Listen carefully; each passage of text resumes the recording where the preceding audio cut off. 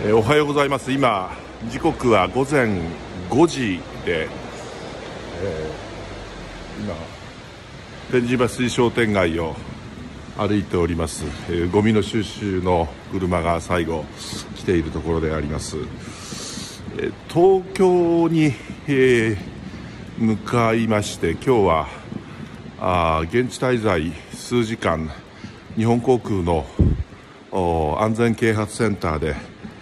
えー、123便事項の残骸などが展示してあるという、えー、そこの予約が今日取れましたのでもうあの9月いっぱいまで、えー、それ以外いっぱいなんですけれども予約が取れない状況だったんで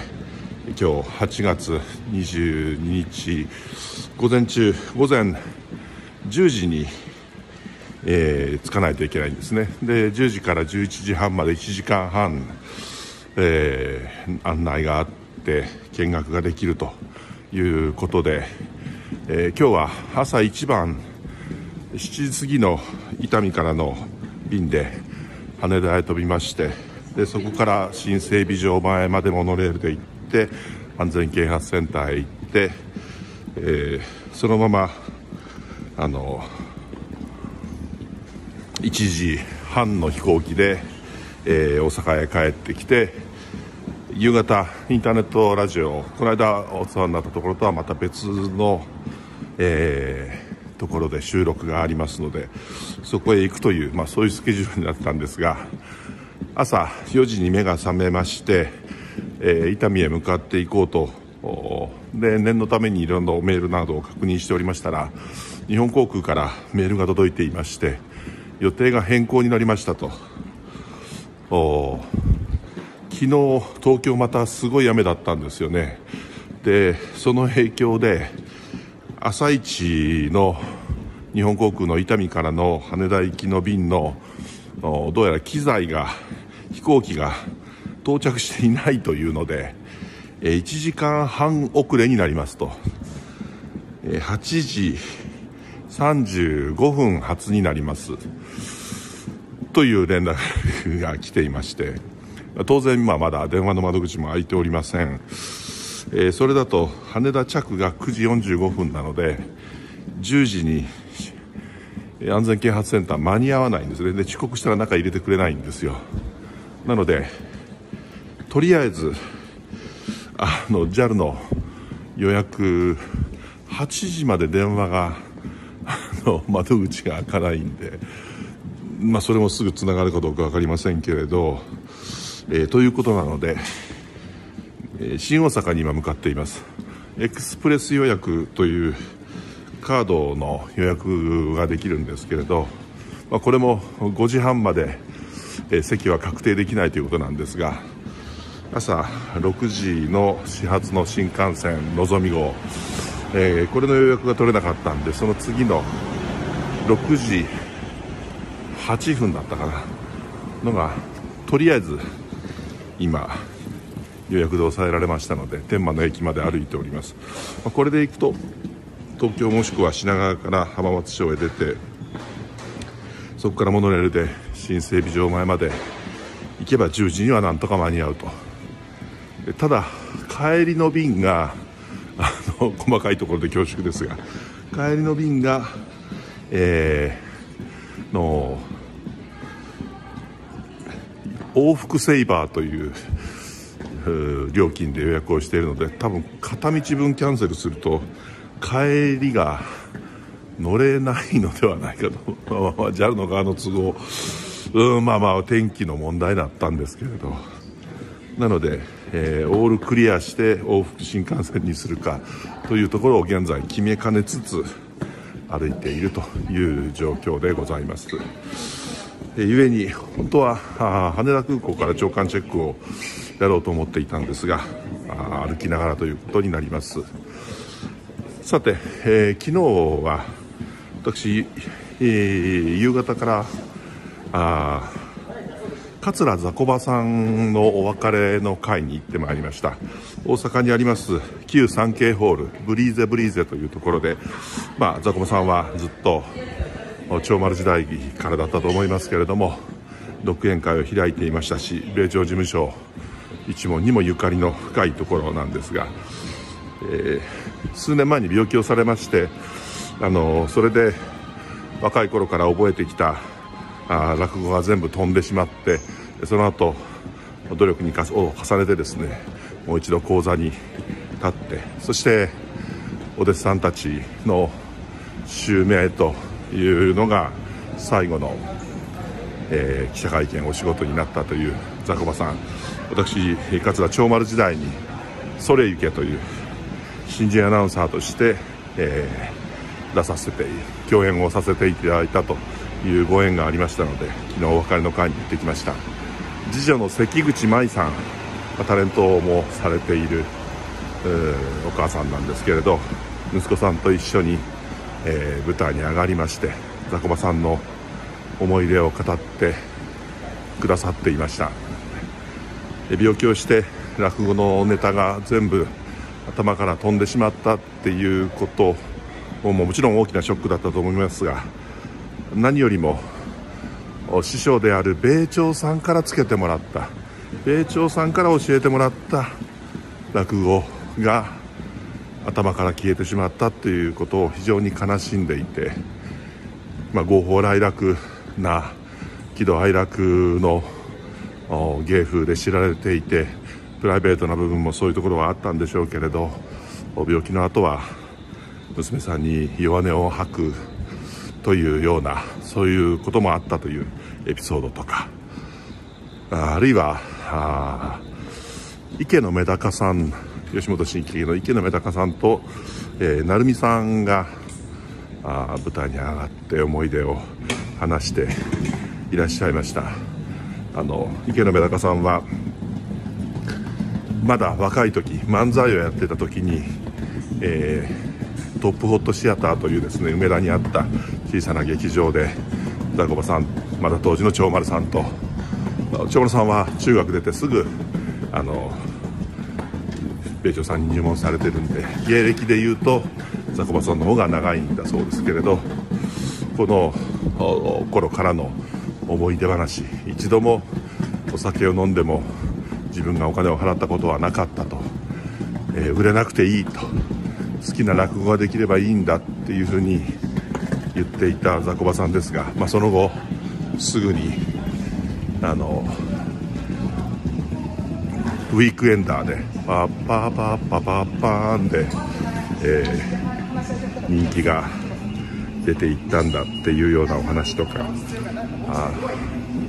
なるみちゃんはまあ、ザコビッチっていう言い方をして親しみ込めて番組の絵でもそれ以外のところでも話をしてたんですけれどそういやいや失礼だとザコバさんのファンで、えー、若い小娘がザコビッチっていうのは失礼だっていうふうに言うお客さんもいてその方のあのいらっしゃるお店に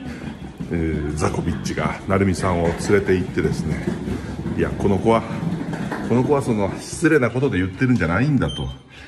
フワちゃんじゃないですけど、えー、そういうことではないんだっていうことをちゃんとあの話をしてくれたっていう人情家であったザコバさんのエピソード。えー、とまる兄ちゃんとまる兄ちゃんって言って、えー、お弟子さんですね。今塩谷さんを命名してるんですけれどもその塩谷さんが、えー、結婚をする時に仲人初めての仲人をあのやらせてもらったと。いややってもらったんだと。いうことで。でその前日奥さんから 電話があって「えー、とまる兄ちゃん明日結の何時からやったっけ？うん。いや2時からです。お昼の2時からですあそれやったら間に合うと思うわって言ってえー、その前の晩酔っ払ってえー、ザコバさん警察の留置場に入れられてたっていうそういうエピソードであるとか、まあ、ちょっと放送できないような話でしたけれど。そんなエピソードで笑いとともにブリーズブリーズでえー、1階席満員で2階へ回ってもらわなきゃいけないかなっていうぐらい。あの早い時間帯にはファンの皆さんに集まってもらっての会もあったようですが私はまああの、えー、放送とか芸能の関係の皆さんの時間帯に行かせていただきました。あの本当に謹んでお礼を申し上げるとともにお別れを言ってまいりました。あと昨日で言うと、まあ、関西以外の方はおなじみではないかもしれませんが私も共演させてもらってました山本涼子さんという名アシスタント48歳の若さで10年間闘病してきて体が悪いことは私も聞いていたんですが帰らぬ人となってお通夜お葬式も終わりましたという段階でお知らせを受けました、えー、ちゃんとお別れはできないままなので非常に残念ですが、まあ、彼女が明るく放送でもそれ以外のあの前後の時間帯もですねすごく気遣いの人でで一緒に淡路島にも行きましたしてんこ盛りスタジオにもそしてアンテリジャンのメモリースタジオにも来てもらってお話をした山亮さんが残念ながら、まあ、いつかこういう日が来てしまうんではないかというふうに実は思ってはいましたけれども旅立ったという残念な知らせが届いておりました。さて今5時13分になろうとしていますかね。この後電車が5時19分ですのでそこまでタイトルにしております兵庫県知事のお話をさせていただきます。渡瀬康秀さん西播磨県民局長のことにつきましてはえー、3月27日に兵庫県知事が嘘800事実無根というふうに言いまして、まあ、その怪文書扱いのところでですね、えー、報じるテレビ局新聞社も多かった、まあ、その段階から私、えー、取り上げてでまあ多分みんなが匿名にしていていまあ、未だに匿名のメディアはありますが W, w 県民局長とかっていうようなことで書いているところからお話をさせていただいてたんですけれども、えー、実は、まあ、渡瀬さん自身は私がアナウンサーだった時からのことの存在というのはご存知なかったみたいなんですけれど、まあ、割にどこよりも早くですねあのこの問題を取り上げている人がいますよと。まあ、その人がもともと毎日放送のアナウンサーで朝のラジオもやってた人ですよっていうことが渡瀬さんの耳に入ってああじゃあ一回会いたいなって言ってくださってたっていうことをお聞きしました。私の側もまあつてを頼ってですね、えー、会いたいと言ってたら7月の頭上旬にですね命を絶たれてしまったわけですけど、まあ、何ができたというわけではありませんが何か私さんの真意につながるお話を広めることができたのかなと思って残念に思いました。でずっと私が気になっていますのが渡瀬さんが3月12日付で書いたというですね、えーその告発文が誰に届けられたのかっていう話で。で兵庫県警には届いていましたと。3月15日に郵送で届いていましたっていうことが、えー、兵庫県警の藤森刑事部長によりまして兵庫県議会の警察常任委員会で、えー、明らかになりました、まあ、これまでも警察にというふうには言われていたんですが兵庫県警にちゃんと郵送で届いていたっていうことがそこで明らかになったわけですね。であと自民党の政治家ですね、えー、県議会議員であったり国会議員であったりっていうところにも届けられていたということです。で私の思いの中で、まあ、そのパワハラやおねだりっていうのは枝葉のことでもっと根っこのところにあるこの3年間の斉藤県政の鎖ぶりそれは片山副知事あるいは猪本総務部長彼らがですね、えー、好き勝手やっていたというところでそこにまあ法的な問題もあるのではないかということですね。刑事罰に処せられるような話もある。好き嫌いの問題ではなくってっていうところをずっと考えています。であのじゃあマスメディアで全社ではないんですね。全社に送った記者クラブに投げ入れたんではなくって一部つまりこのことをあの7項目を伝えればなんかなんとか調べたり動いたりしてくれるところがあるんじゃないかということで、まあ、警察も含めてですけど渡瀬さんは告発文を送りました。その送った新聞社や放送局と送られていないところずっと私の中で謎だったんですが、えー、分かりました。分かりました。何新聞に送られてどこの放送局に送られて